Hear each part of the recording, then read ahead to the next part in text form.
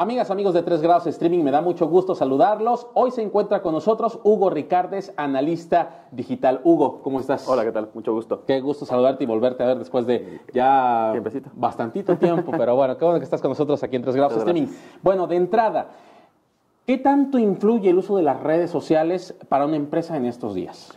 Pues creo que hoy en día el marketing digital eh, es el que está en boga. Por, pues, obviamente tenemos que analizar primero lo que es la oportunidad de negocio, Sí. después a los atributos positivos y negativos que tiene la marca para poder entonces abrir la ventana a un público, pues bueno, a una audiencia masiva que tiene el marketing digital. Entonces creo que hoy en día la comunicación es lo que, lo que intensifica muchísimo el marketing digital, tener muchísima audiencia a un bajo, muy, muy bajo costo comparado con otros segmentos este, de, de medios de comunicación que podemos utilizar. Y además, bueno, porque estamos conectados casi todo el día en el celular o en la web, entonces eso significa que estamos muy pendientes de lo que sucede en el marketing eh, digital.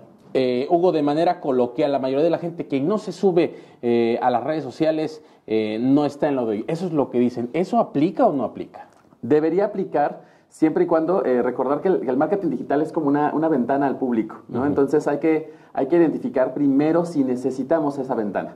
Sobre todo porque es una ventana que tenemos que estar pendiente de ella, de lo que vamos a publicar. Hay que nutrir una red social. Si abrimos una red social y la descuidamos, entonces es preferible no abrirla, ¿no? Eh, necesitamos tener un presupuesto, una intención, un objetivo de comunicación y después de eso, pues bueno, yo creo que sí es importante abrir la ventana, pero no para todos los negocios, si no están preparados todavía para ello. ¿Cómo decidir o cómo dar ese paso eh, y como em- empresarios, microempresarios o emprendedores, que es uno de los términos que hoy está en boga, eh, cómo darme cuenta si ya estoy listo para hacerlo o no?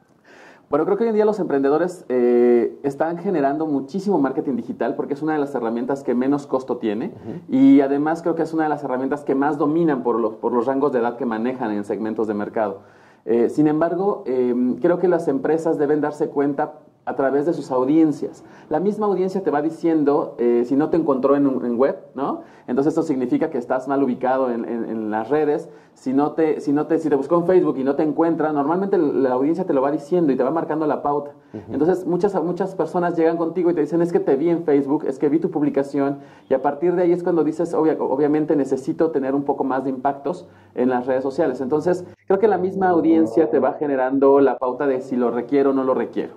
O hacerlo equivocadamente, ¿no? Que Oh, también exacto. es uno de los errores más recurrentes, sobre todo en quienes dicen, ay, sí, yo soy aquí la última Coca-Cola del desierto en el uso de redes sociales, y resulta que a la mera hora cuando estamos en el teclado, en, el, en la computadora, en el, en el teléfono celular, pues simplemente no, no damos una. Así es. ¿Cómo podríamos eh, eh, armar rapidito un ABC para hacer una publicación inteligente como Mira, empresas? creo que para poder hacer algo, algo así es que muchas personas confunden las redes sociales personales con las redes sociales Exacto. empresariales. Y ese es un grave error porque eh, necesitamos primero eh, identificar que hay una gran diferencia. No es lo mismo manejar tu propia red social con tu marca personal, que también es muy importante saberla manejar, pero digamos que esa es una, tú ya conoces tu esencia, ya conoces el, el estilo de comunicación que quieres generar, entonces ahí es más sencillo pues saber qué publicas y qué no publicas en tu propia red social. Pero en la red social empresarial es muy diferente porque necesitas primero identificar esta misma esencia a través de, los, de, tu misión, visión y objetivos, toda esa filosofía organizacional que construiste en algún momento, tienes que saber cómo es la empresa para saber qué vas a comunicar. Y el ABC de una publicación inteligente, yo te diría, primero identifica quién es como esencia la empresa para saber qué vas a publicar y qué no vas a publicar.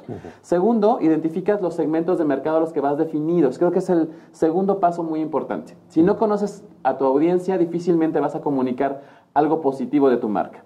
Y después de conocer esto de tu marca, ya podrás identificar eh, qué canal de comunicación requiere, qué tipo de publicaciones requiere, porque hay contenidos de publicación en las redes sociales, ¿no? Entonces, hay cuatro tipos de contenidos que nosotros manejamos en la metodología que tenemos y esa metodología es cuatro tipos de contenido a diferentes tipos de audiencia, dependiendo del porcentaje. Desde un contenido muy creativo hasta un contenido inteligente que te nutra cuestiones informativas, hasta contenidos meramente creativos o innovadores o simplemente de venta o comercialización.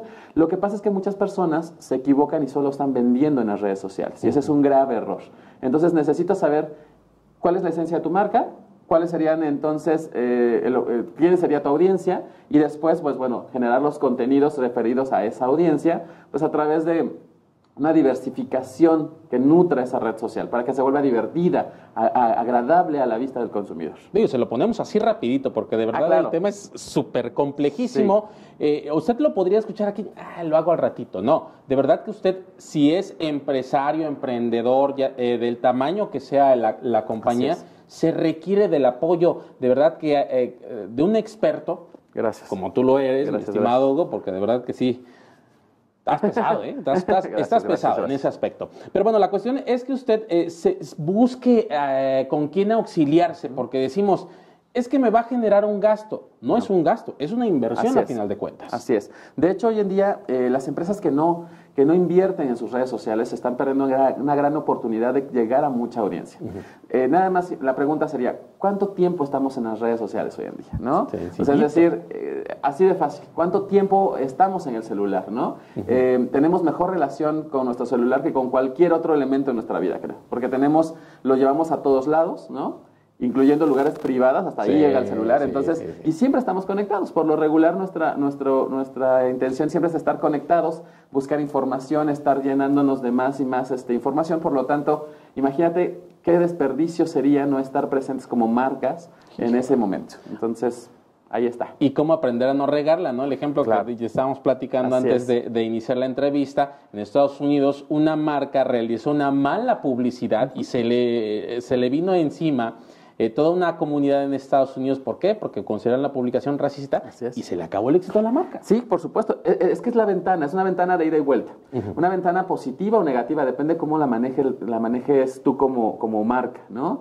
Eh, aquí en Oaxaca mismamente nos ha pasado em, empresas que cometen errores en las redes sociales y ni siquiera tienen el toque de disculparse públicamente, de, pedir una, una, disculpa pública, de hacer algún tipo de regalo o, o dar algo a cambio a su audiencia por el error que generaron, porque esa es una ventana, ¿no? Entonces, por lo tanto, eh, la información va y viene y las audiencias hoy en día somos, bueno, muy críticos de lo que estamos y exigentes de lo que está generándose en las redes.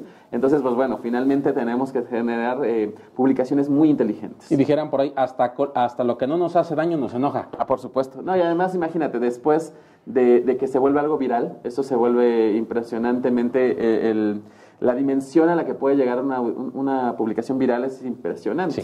¿no? Entonces hay que tener muchísimo cuidado que en un error no se convierta en viral, sino todo lo contrario, algo positivo se convierta en viral. Y entonces ahí sí tendríamos un buen impacto. Exactamente, digo, el tema de verdad es larguísimo. Hugo, queremos invitarte aquí en Tres Grados Streaming a que, a como te acomodes en tu agenda, vaya, participes con nosotros para darles esos tips a los empresarios, a la gente que nos ven en nuestro foro. Perfecto, pues aquí estaremos pendientes con muchísimo gusto. No, hombre, ahí tienes, son las palabras de Hugo Ricardes, analista digital, quien ya lo verá a partir de estas fechas en 3 grados streaming. Amigas, amigos, muy al pendiente de lo que seguiremos compartiendo con ustedes.